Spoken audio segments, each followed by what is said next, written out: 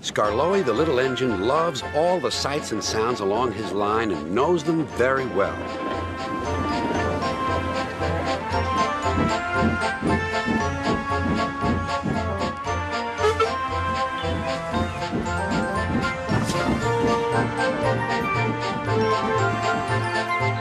One morning, soon after he returned from being mended, he was enjoying his journey more than ever before.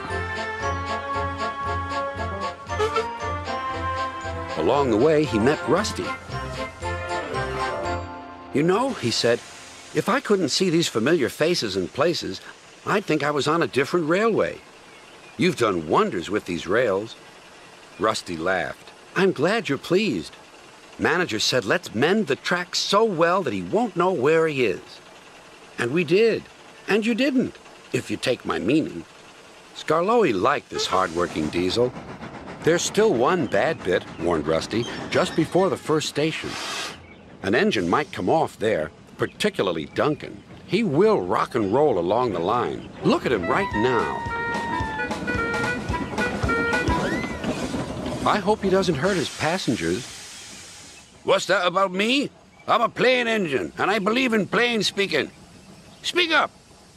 Rusty warned Duncan about the bad bit of rail. Huh. I know my way about. I don't need smelly diesels to tell me what to do. Rusty felt hurt. Duncan banged about the yard. Then he clattered crossly to the station. James was already there, waiting for him. You're late, he snapped. I know, said Duncan. It's that smelly diesel's fault. Rusty tries to teach me how to stay on the rails and then goes off leaving me to find my own coaches.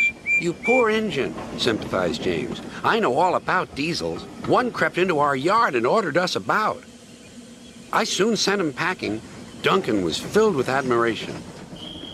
He didn't know that James was boastful and sometimes didn't tell the truth. Send Rusty packing! Send Rusty packing! snorted Duncan.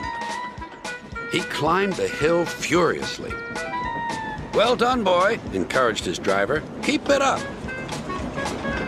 Soon they were near the first station. Duncan was pleased. Nothing's happened. Nothing's happened, silly old diesel. Clever me. And he rocked and rolled along the line. Steady, boy, checked his driver. But it was too late. Sleepers and ballast, I'm off. And he was. I warned him, said Rusty. But all he did was call me names. The little diesel refused to move.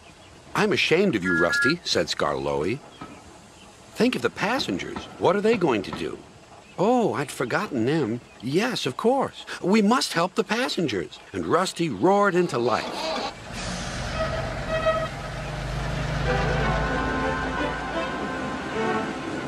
Duncan stood sad and solitary. He couldn't rock and roll now. Oh dear, he thought. Everyone will know how silly I am. The passengers had to get out and help too. They weren't very pleased about that, but worked as hard as they could. They carefully levered Duncan back onto the line. After that, Duncan was extra careful all day.